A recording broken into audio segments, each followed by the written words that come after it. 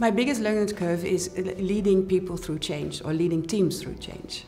I needed to reorganize uh, the organization where at that moment I was heading, and um, we needed to set up a different structure, a different way of working.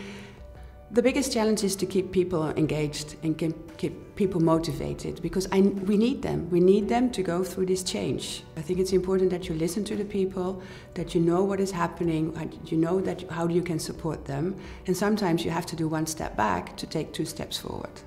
I need to be open minded. I think that is very important because you need to listen what is happening in your organization.